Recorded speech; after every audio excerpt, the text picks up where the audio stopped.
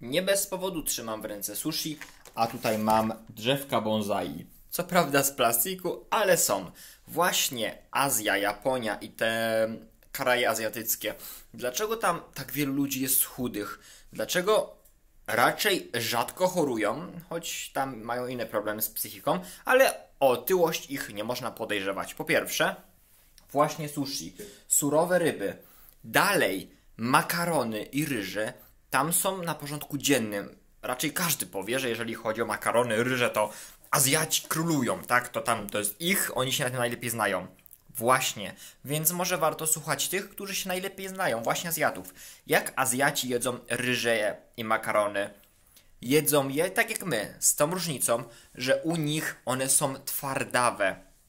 Znaczy inaczej, to nie ma być twarde, to nie, nie mają ci pękać zęby jak je jesz, ale to ma być twardawe.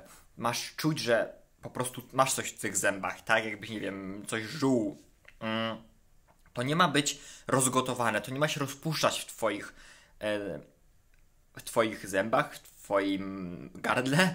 Mm, chodzi o to, że dla wielu z nas makaron i ryż muszą być rozgotowane. A to jest bardzo duży błąd. Ty nie ty jesz dlatego, że jesz makaron i ryż. Oczywiście najlepiej to odstawić, ale jeżeli ktoś lubi, to może to jeść.